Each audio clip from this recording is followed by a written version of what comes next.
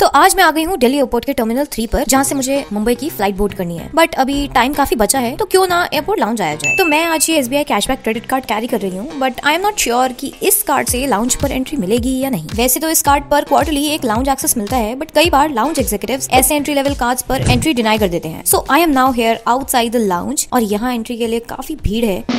So I am inside lounge तो ये है टर्मिनल थ्री पे लोकेटेड इनकॉम लाउंज तो ये लाउंज एक ब्रांड न्यू लाउंज है और अब बात करते हैं कैसा रहा मेरा एक्सपीरियंस जैसा कि आप देख सकते हैं कि इट्स वे टू क्राउडेड तो ये ऐसा लाउंज बिल्कुल नहीं है जहाँ आके बहुत ज़्यादा रिलैक्स फील करें या शांति से बैठ सके. लिमिटेड ऑप्शन थे बट स्नैक्स से लेकर फ्रेश जूस नॉर्थ इंडियन से लेकर कॉन्टिनेंटल फ़ूड था सो ऑप्शन वर डिसेंट मैंने ट्राई किया था shahi paneer with butter naan and glass of juice जो मुझे काफ़ी बढ़िया लगा. So my overall experience was good except too much commotion which I think future में इंप्रूव हो जाएगा. न्यू सेक्शन एड होने पर, जिसका पर्पस होगा to bifurcate audience as per their card ऐसे और क्रेडिट कार्ड रिलेटेड वीडियो के लिए सब्सक्राइब करें कार्ड अकेडमी